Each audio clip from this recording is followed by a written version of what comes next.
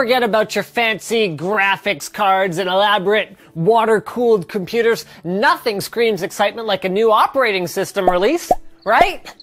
Anybody? No? Well, Elated as you may or may not be, Windows 10 is already available for user testing and feedback, and it brings some big changes to the table. So big, in fact, that Windows 9 was skipped entirely for reasons unknown.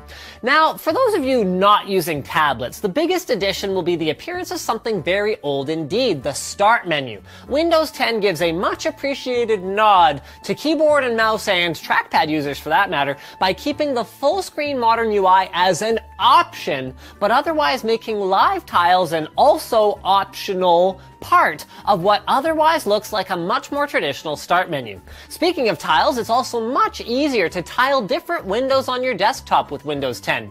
When the Aero Snap feature was introduced with Windows 7, it allowed users to quickly see two things side by side. Windows 10 improves on this concept by giving you the option to tile windows in quadrants, making keeping your screen organized a snap. Oh, come on, I've done worse than that.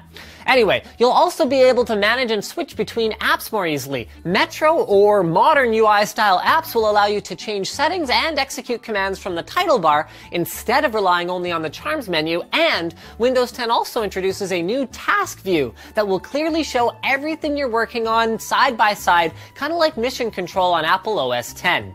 Task View will even allow you to have multiple desktops open at once, so you can switch between a number of different workspaces quickly. A huge productivity booster for notebook users or anyone else who is limited to a single display.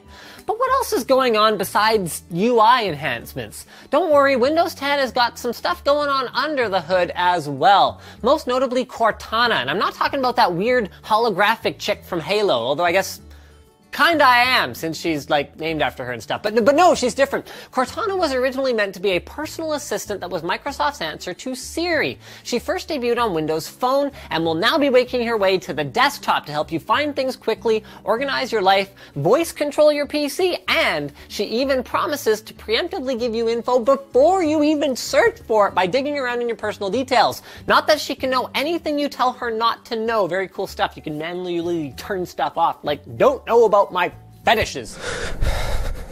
Also, Microsoft is shifting its focus away from Internet Explorer and will be including an entirely separate browser, in addition to Internet Explorer, with Windows 10. It's codenamed Spartan and features a new design philosophy, better compatibility with modern websites, a new rendering engine that they're saying is like blazing fast, and support for browser extensions. Finally! But wait, there's more. Windows 10 will ship with DirectX 12, which is designed to allow games to communicate more directly with your graphics hardware, resulting in theoretically better performance and more realistic visuals. And to delight your other senses, Windows users are finally getting native support for FLAC lossless audio as well as HEVC, a new video codec that can support 8K video. The good news with all of this stuff is that you won't need any additional hardware to run Windows 10 if your PC already supports Windows 7 or 8. But Linus, how much is all of this going to cost me? Well, although Microsoft has been known to charge relatively high prices, here's my filling with the golden at Microsoft. Please give me Windows. Um, that looks to be a thing of the past. An upgrade to Windows 10 is going to cost you nothing. If you have Windows 7 or 8.1, you can upgrade to 10 for one year after it's released for the low price of free. Though you'll still need to buy a full version if you're building a new rig. But if you're upgrading your existing PC, the extremely low cost, interface enhancement, DirectX 12, and all that great stuff makes Windows 10 about as interesting as an operating system release can be.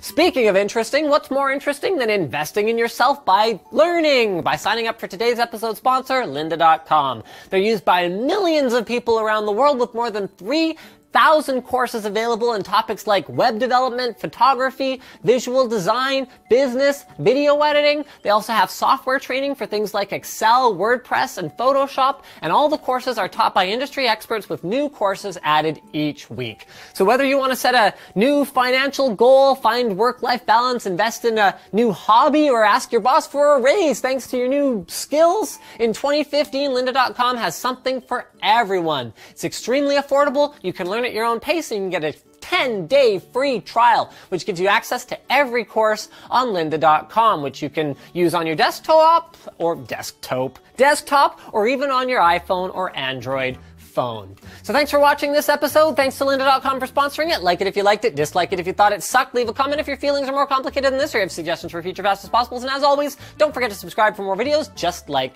this one.